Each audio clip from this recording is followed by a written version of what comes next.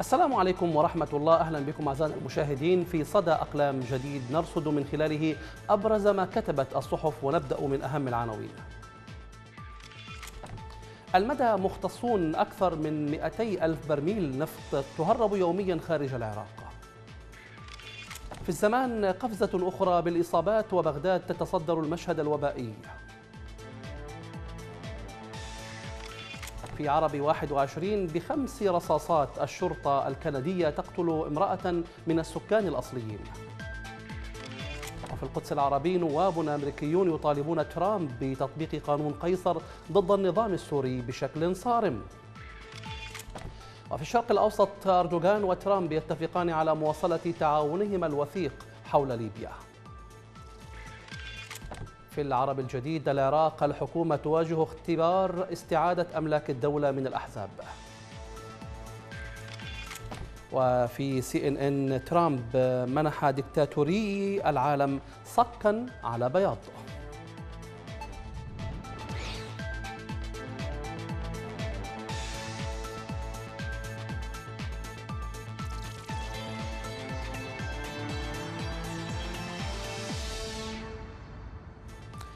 نبدأ معكم بالعرب اللندنية. واشنطن بغداد حوار مصالح أم إذعان؟ إن كانت هناك دعوة شعبية حقيقية لفضح السياسة الأمريكية في العراق فيجب ألا تستثني أدوات القتل التي استثمرت مناخ الاحتلال لتنفيذ البرنامج اللئيم بقتل علماء العراق ومهندسيه وأطبائه وقادة جيشه. جاء ذلك في مقال للكاتب ماجد السامرائي بصحيفة العربي الجديد.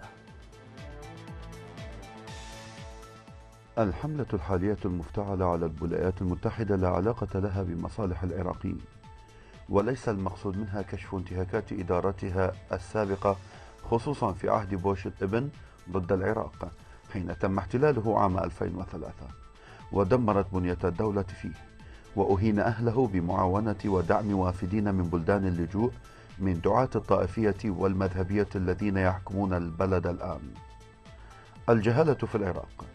لا يعلمون أن الولايات المتحدة لديها مشاكلها الداخلية اليومية المتعلقة بحياة الناس التي تؤثر على اتجاهات الرأي العام الأمريكي في خيارات الرئيس المقبل. وليست إيران أو العراق أو مشاكل الشرق الأوسط ما يحدد مصير ترامب في الدورة الانتخابية المقبلة. المفاوض الأمريكي في ملف العراق الذي يتكون وفده من فريق دبلوماسي لديه رصيد ضخم من معلومات تؤكد الولاء المزدوج لعدد كبير من مسؤولي الحكومة في بغداد.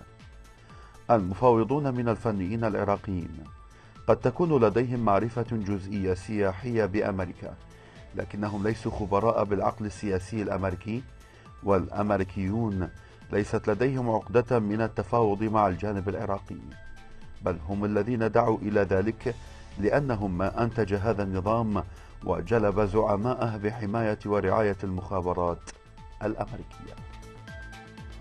يضيف الكاتب ماجد السامرائي أقصى ما يدور في عقل الزعامات الشيعية الموالية لطهران إضافة إلى الهدف بإخراج القوات الأمريكية الاعتقاد بأن نتائج الحوار مع واشنطن وقبولها المبدئي بالرحيل ستؤذي أصدقائها من السياسيين داخل العراق من السنة والأكراد والشيعة.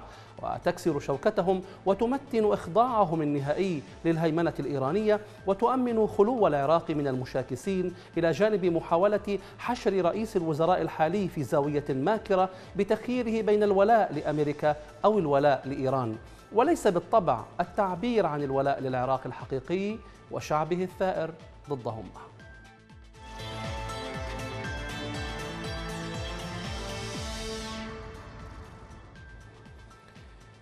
العراق وأمريكا الحوار الصعب. وننتقل إلى القدس العربي. نتحدث عن خيارات بغداد للحوار الاستراتيجي المرتقب مع واشنطن حيث قال مثنى عبد الله عندما تعلن واشنطن بصراحة تامه أنها تريد العراق ساحة لمواجهة العدو الإيراني ف وإيقاف تهديدات الميليشيات المعمول بها ووجود وحدة سياسية بعيد بعيدة عن النموذج الطائفي. للولايات المتحدة الأمريكية. إن أولى الأسس لخلق علاقة فعالة وصحيحة آه، وصحية بين بغداد وواشنطن هو أن تكون بغداد قد حددت بشكل واضح لا لبس فيه أهدافها من الحوار حول الحوار بين حكومة بغداد وأمريكا كتب مثنى عبد الله في صحيفة القدس العربية. أهداف الولايات المتحدة من الحوار يمكن القول بأن الدعوة له قد انطلقت أساسا بعد التعرضات المتكررة للميليشيات المسلحة على الأصول الأمريكية في العراق مثل القواعد العسكرية والمنشآت الدبلوماسية والمتعاقدين المدنيين والشركات. لذلك كان أول هدف لواشنطن من الحوار كما جاء على لسان وزير الخارجية هو الوجود المستقبلي لقوات الولايات المتحدة. ولأن العراق في استراتيجية واشنطن هو مركز ثقل المنطقة الذي يؤثر في الآخرين ولأنها في حالة صراع مع طهران وتسعى لتطبيق خطة الضغط الأقصى عليها ولكونها في مواجهة مصيرية مع الفاعلين الروسي والصيني. لإبعادهما عن مدى النفوذ السياسي والاقتصادي والعسكري في المنطقة فإن الوجود العسكري الأمريكي في العراق ليس خيارا لواشنطن بل هو ضرورة قصوى تتطلبها المصالح العليا. أما الهدف الثاني من الحوار الذي حدده وزير الخارجية الأمريكي بأنه أفضل السبل لدعم عراق مستقل وذي سيادة فليس أكثر من حشوة دافعة للهدف الأول لا أكثر. واشنطن هي من صنعت هذا العراق الجديد وهي من رسمت ملامح وتفصيلات النظام السياسي الطائفي القائم وهي من حافظت على قوائمه منذ الغزو وحتى اليوم. قد تكون المؤسسات الأمريكية التي تقف خلف صانع القرار قد أحست الكارثة من سيناريو الغزو والاحتلال والمجيء بسلطات فاسدة وتود اليوم إعادة البرمجة من خلال المراهنة على هذا الطرف أو ذاك من داخل المنظومة السياسية لإحداث تغيير ما قد يكون هذا ممكنا بالنسبة لواشنطن وتستطيع القيام به. لكن التحليل السياسي يقول عكس ذلك تماما. إنه يقول كي تحافظ الولايات المتحدة الأمريكية على مصالحها في العراق لابد أن يبقى دولة فاشلة ومعدومة السيادة.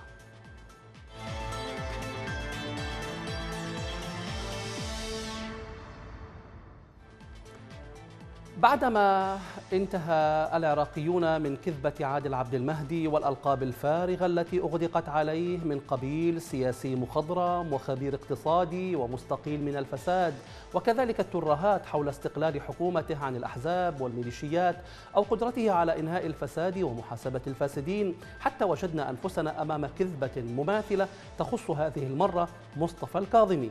مضافا إليها عنصر مثير يتعلق بإنهاء تدخلات إيران السافرة وطرد نفوذها من العراق ونزع سلاح الميليشيات الموالية. مقال للكاتب عوني القلمجي في موقع كتابات. فضيحة الكاظمي انتشرت بسرعة لم تكن متوقعة حيث عرض في مقالة كتبها في إحدى الصحف شكواه من قوة وجبروت الميليشيات المسلحة. وتشاؤمه من مستقبله وقدرته على تحقيق برنامجه الإصلاحي. لينتهي إلى استجداء رضا هذه الميليشيات بدل تحجيمها ونزع أسلحتها ولضمان بقائه في منصبه. أبدى حبه واحترامه لهذه الميليشيات وحرصه الشديد على وحدة فصائلها. واستعداده لحل الخلافات التي نشبت بين الفصائل التابعة للولي الفقيه الإيراني علي خامنئي وبين التابعة للمرجع الديني علي السيستاني حول المراكز القيادية وتقاسم الحصص المالية والمناصب الوزارية. واختار شعارا معلبا لتبرير خيبته وفضيحته. لا صوت يعلو على صوت المعركة ضد تنظيم داعش الإرهابي. أما علاقة الكاظمي بملال طهران فهي علاقة العبد بسيده. وقد ظهر ذلك جليا وواضحا أثناء تسلمه الشروط الإيرانية عن طريق رئيس فيلق قدس الإيراني إسماعيل قاآني الذي زار بغداد لهذا الغرض يوم الأربعاء الماضي والتي ينبغي على الكاظمي تثبيتها في المفاوضات الشكلية التي ستعقد قريبا بين الولايات المتحدة والعراق لتنظيم التواجد الأمريكي في العراق وعدد القواعد العسكرية وما ينبغي أن يقدمه العراق لأمريكا مقابل حمايتها له من أي عدوان داخلي أو خارجي. ولم ينسى الكاظمي لتعزيز عبوديته تقديم رشوة للإيرانيين بتجديد عقد شراء الكهرباء من إيران لمدة سنتين.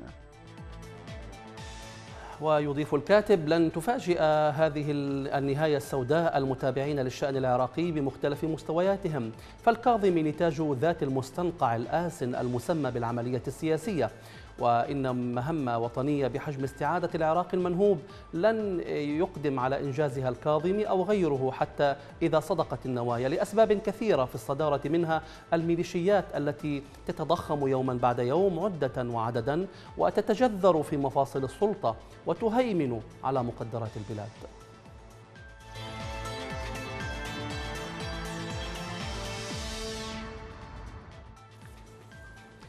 سي إن ان تقول أن ترامب منح, منح دكتاتوريي العالم صكا على بياض. نشر موقع شبكة سي إن إن الأمريكية مقالا لكل من سارة سيرجاني وجول توزورز اعتبر فيه أن الرئيس دونالد ترامب اتبع خطى مستبدي الشرق الأوسط في تعامله مع المتظاهرين الأمريكيين وأضاف الكاتبان في مقالهما إن ذلك التعامل يشي بأنه قرأ كتاب الإرشادات الذي يحتوي على طرق القمع لا سيما مشهد وصف المتظاهرين بجماعات النهب والإرهابيين. إن تعامل ترامب مع المتظاهرين الذين خرجوا في أعقاب مقتل جورج فلويد يمنح الطغاة في العالم صكا أبيضا لممارسة ما يحلو لهم كما اعتبر أن خطاب ترامب مثير للانقسام. لا سيما وصفه عددا من ناشطي اليمين المتطرف بالطيبين. مقللا في المقابل من أهمية المتظاهرين الذين خرجوا احتجاجا ضد الظلم ووصفهم باليساريين والإرهابيين وجماعات النهب. وصولا إلى التهديد بنشر الجيش لقمعهم وفرض أحكام سجن طويلة على من يلقى القبض عليه منهم. وهي الأساليب المفضلة لعبد الفتاح السيسي رئيس النظام المصري بحسبهما. وبالنسبة للملايين من الذين تظاهروا حول العالم فإن أفعال ترامب ومشاهد العنف أثار ذاكرتهم وأدت لتعاطفهم مع ما يتعرض له الأمريكيون من قمع الشرطة. وفي سوريا ربط كثيرون عبارة فلويد الأخيرة. لا أستطيع التنفس مع ضحايا الهجمات الكيماوية التي خنقت المئات. واختنق الصحفيون والمتظاهرون المصريون في نصف العقد الماضي من القنابل الدخانية والمسيلة للدموع التي أطلقتها قوات الشرطة عليهم وكانت مشاهد العنف والغضب الأمريكية حاضرة في ذاكرة المتظاهرين في بغداد. وبدلا من تقديم المثل الذي تقول الولايات المتحدة أنها تقف معها وتشجب دول العالم التي تخترقها يضيف الكاتبان فإن ترامب قام باستخدام نفس الأساليب التي شجب أعداءه لأنهم استخدموها. وبهذه الطريقة حول رئاسته إلى آلة دعائية لكل طغاة العالم.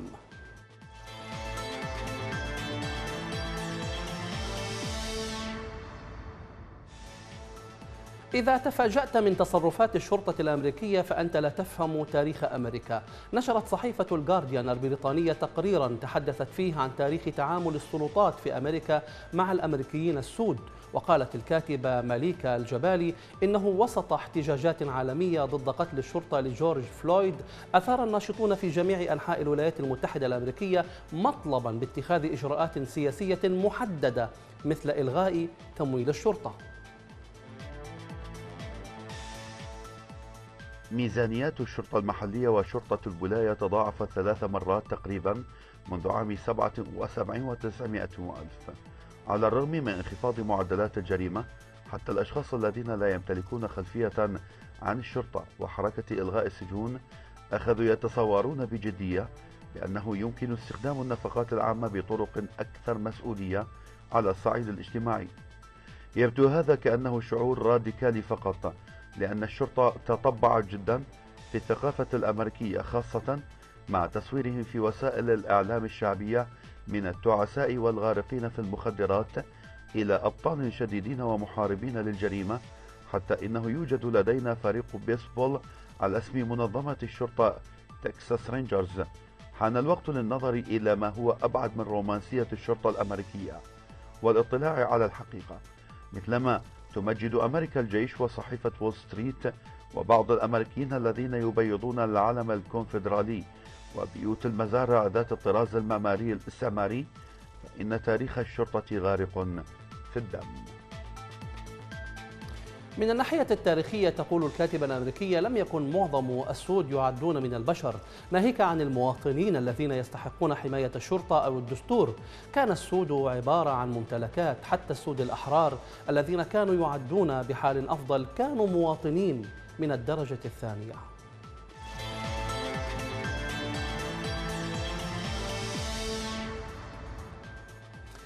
رسم للأمريكي فلويد على الجدار الفاصل في الضفة الغربية المحتلة. رسم فنان مجهول الهوية صورة للمواطن الأمريكي جورج فلويد الذي قتل على يد عناصر من الشرطة الأمريكية على جدار الفصل الصهيوني بمدينة بيت لحم جنوبي الضفة الغربية المحتلة. وقال منذر عميرة منسق لجان المقاومة الشعبية المناوئة للاستيطان والجدار الصهيوني في بيت لحم إن الرسم هو رسالة تضامن من الشعب الفلسطيني المضطهد للمضطهدين في الولايات المتحدة الأمريكية. وحول هوية الرسام قال الناشط الفلسطيني إنه جرى رسمها ليلا والرسام مجهول الهوية. وأضاف عميرة منذ حادثة مقتل فلويد نظمنا عددا من الفعاليات المنددة بالممارسات الأمريكية بحق أصحاب البشرة السوداء. وهذا الرسم جزء من التضامن.